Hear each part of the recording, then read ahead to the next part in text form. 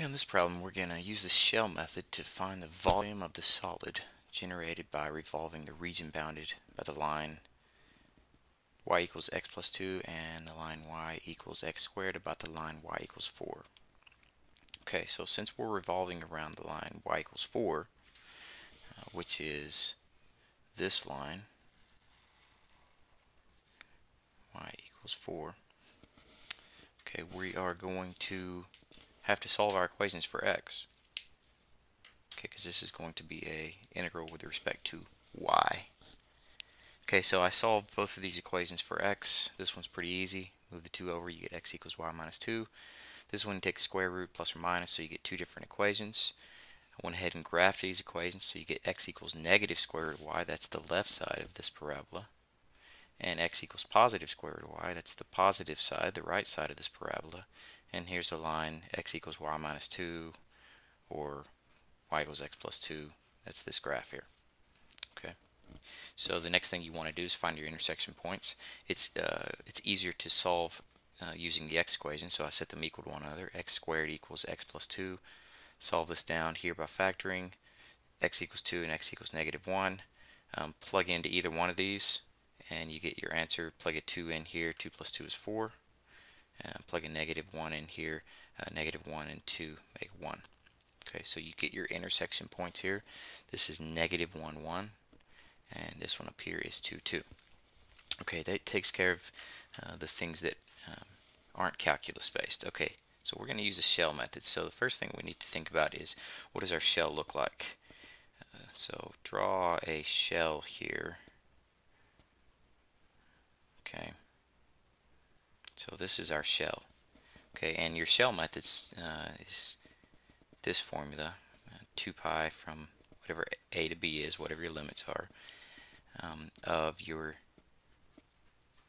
shell radius times your shell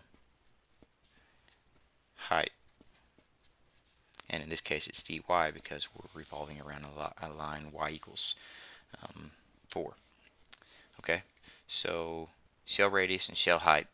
So your shell radius, you think about this shell revolving around this line. Okay, so what's the distance? This this is a circle, so basically you're asking what's the distance between here and here. Well, if we know this is the line y equals 4, how far is it to this arbitrary shell that we drew? Okay, well we'll just say that that's some that's some y value. We don't know what it is because it's going to change depending on, on where the shell is. So that shell radius is going to be 4 minus some y value. Okay, so this is 2 pi. Um, we'll talk about our limits in a second.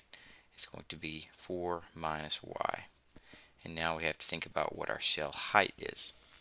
Okay, so the shell height is the distance between here and here. Okay, what's this shell height? Now here's here's the issue with this problem. Here's where it gets a little more complicated. Is that here you can see that the top and bottom of this are the equations x equals square root of y and this equation x equals y minus 2 but if you move the shell down here you'll see that this line is no longer the bottom uh, this line is the bottom. Okay so we're gonna have to split this up into two different integrals integrals um, one where the top and bottom are this equation x equals square root of y and the bottom is negative square root of y. And then when you move up above right here to these two equations, um, your top would be, or your right side would be x equals square root of y, and your left side would be uh, x equals y minus 2. Okay, so for the first one, we'll do this bottom one. I can draw another shell here. Okay, top and bottom there. Okay, so the right side of your shell is square root of y, and the left side of your shell is negative square root of y. You're going to subtract. So it's square root of y minus a negative square root of y dy.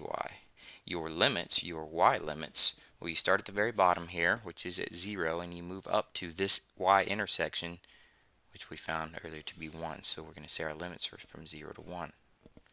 Now your next integral, where you have two different functions having a top and bottom, or right and left, so 2 pi, we'll talk about our limits in a second, 2 pi it's still going to be 4 minus y because we're still talking about the same circle going around that y equals 4. So 4 minus y. Um, our top function is still square root of y, but now our bottom function is different. It's this. It's y minus 2. So minus y minus 2. Make sure you put that in parentheses because you're subtracting the whole function, not just the y. Okay, and that's dy. Okay, what are our y limits?